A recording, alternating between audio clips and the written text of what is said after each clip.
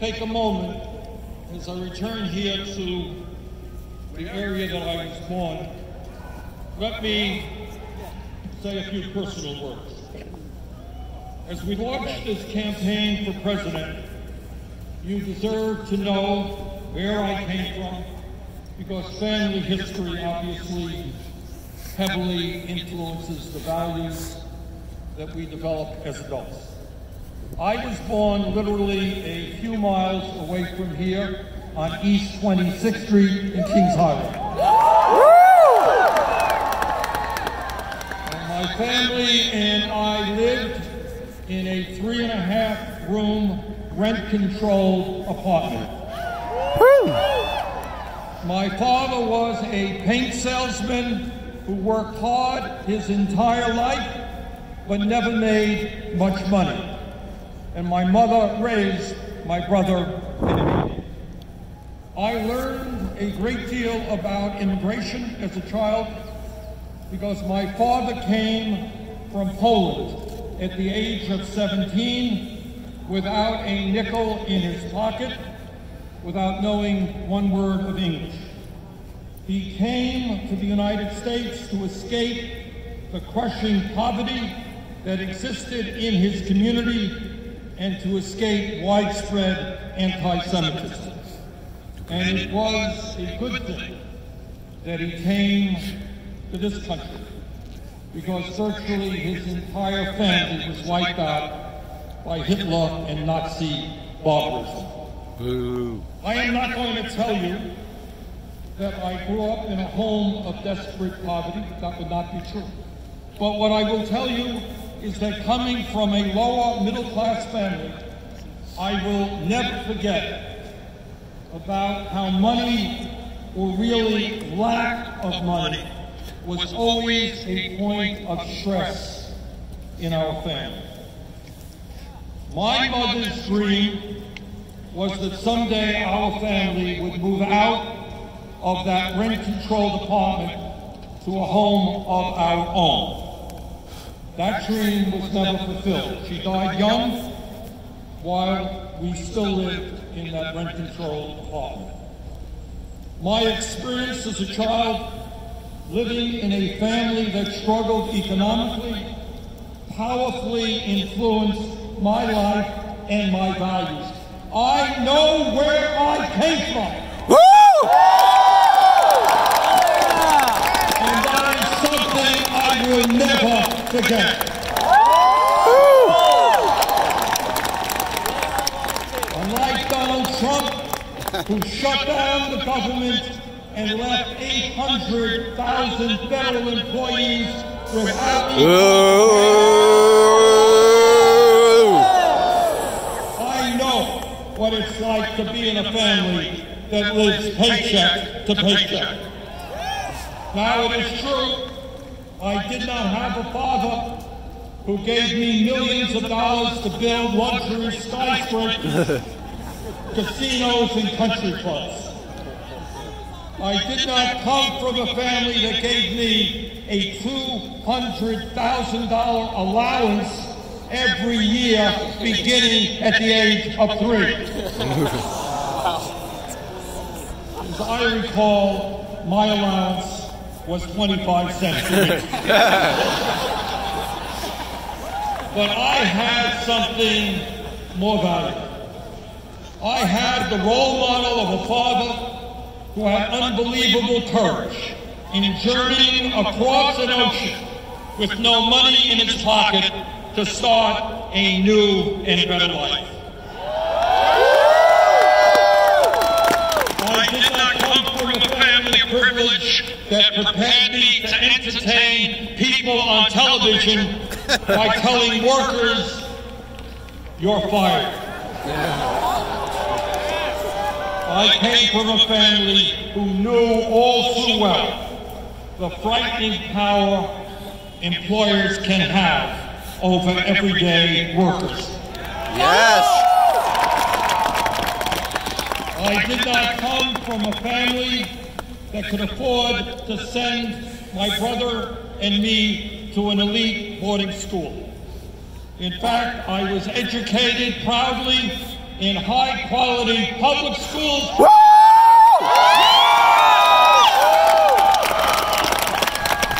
And began my higher education right here on this campus. Yes! I should also mention that my brother Larry graduated from Brooklyn College.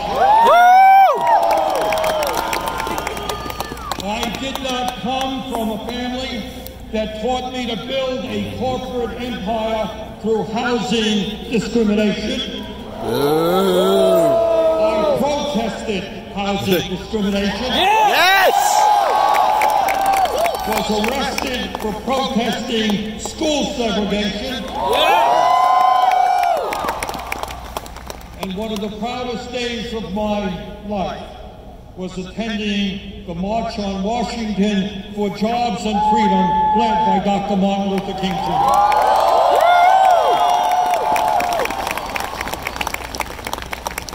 Brothers and sisters, over the last two years and before that, you and I and millions of Americans have stood up and fought for justice in every part of our society.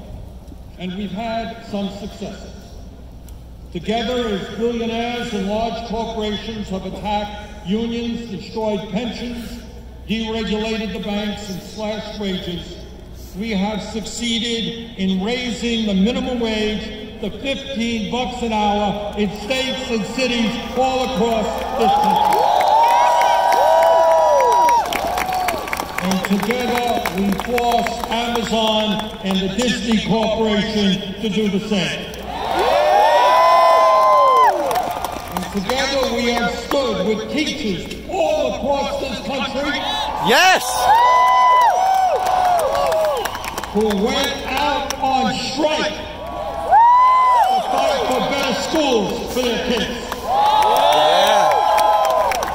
Together as the forces of militarism have kept us engaged in never-ending wars, we have stood together and fought back. For the first time in 45 years, we have utilized the War Powers Act to move us forward to end the horrific Saudi-led war in Yemen.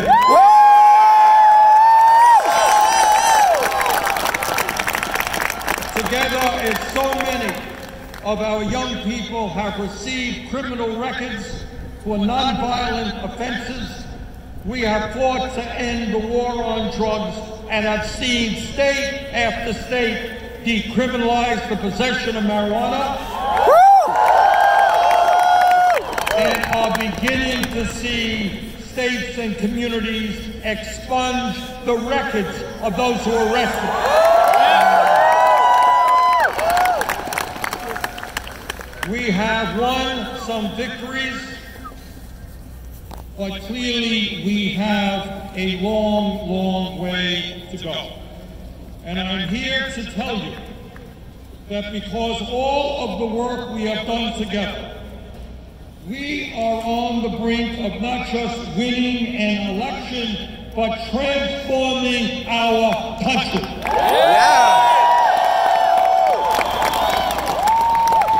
And let me tell you a little what that means.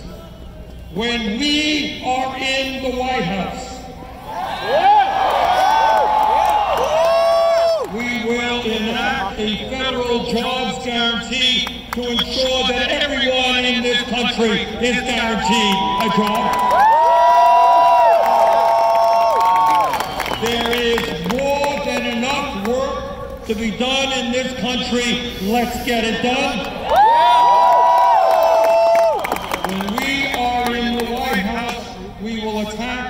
Problem of urban gentrification Yeah!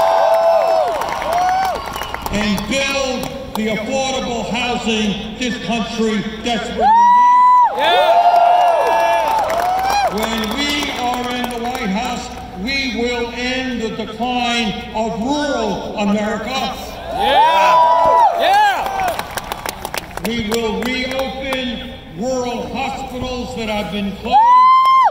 And we will make sure that the young people in rural communities have decent jobs so that they can remain in the communities that they love.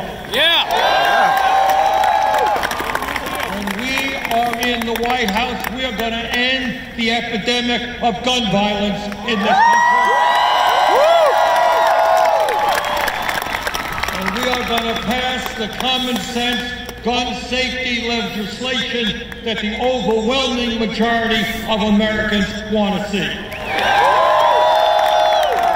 When we are in the White House, we're going to address not only the national disparities of wealth and income, but the racial disparities of wealth and income. We are going together to root out institutional racism wherever it exists.